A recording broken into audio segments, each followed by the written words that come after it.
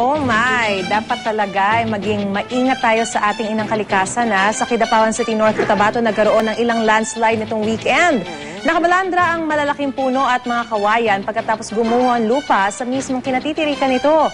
Pag-ambon lang ang nangyari sa lugar kaya lang sinabayan ng malakas na ihip ng hangin kaya natumba ang mga puno at nagka-landslide.